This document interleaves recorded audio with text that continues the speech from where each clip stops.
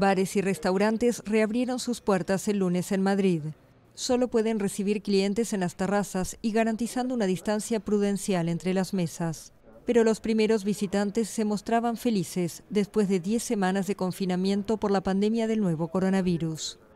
Pues bien, muy bien, muy bien. La verdad que hacía tiempo ya que no, que no podía ir a una terraza y, se echaba de menos. Lo primero que he hecho ha sido ir a, ir a desayunar. Con esta medida, la capital española entró el lunes en la primera fase del desconfinamiento progresivo planteado por el gobierno español, que ya había comenzado en el resto del país. También se sumaron Barcelona y su área metropolitana y una parte de la región de Castilla y León.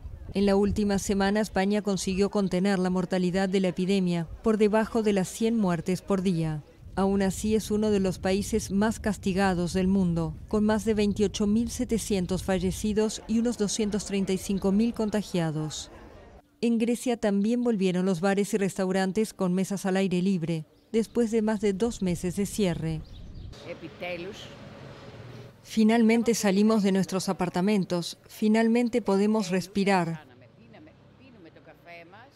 Estamos tomando nuestro café fuera de nuestras paredes. En Italia reabrieron piscinas y centros deportivos, salvo en las regiones de Lombardía y Basilicata.